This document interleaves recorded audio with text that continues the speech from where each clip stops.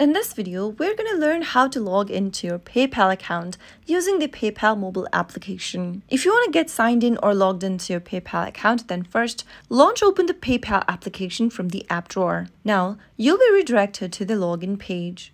Type in your registered email address that is associated with PayPal in the first text box. After you are done typing in your email, head over to the next field and type in your correct password. If you are having trouble remembering your password, tap the Forgot Password link beneath the password box and follow through the password reset process. If you remember your password, type it in and after you are done, Tap on the login button and you'll be able to log into your PayPal account right away. That is how you should be able to log in and access your PayPal account with the PayPal application on your mobile device. If the video was helpful to you, go ahead and give us a thumbs up. Don't forget to subscribe to the channel by hitting the subscribe button. Also press the notification bell so that you'll never miss another upcoming upload from us. I'll be back again with another tutorial video. Goodbye till then.